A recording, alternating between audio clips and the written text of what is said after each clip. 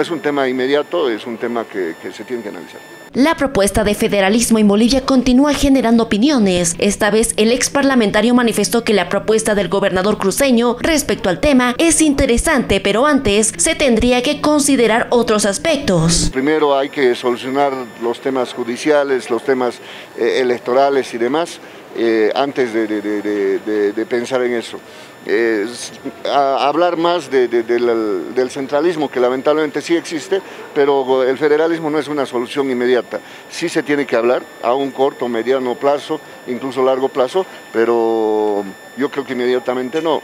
Eh, en este momento estamos en días muy difíciles de confrontación en nuestro país y no está bien, digamos, ir a hablar de otras cosas a departamentos donde hay resentidos que siempre van a querer agredir, como ha pasado con, con Luis Fernando en Tarija. Eh, que primero lo haga en su región, en Santa Cruz, eh, y después puede hablar con las mismas autoridades de los otros departamentos y poder trabajar, trabajar en eso, porque entiendo que Potosí también está de acuerdo.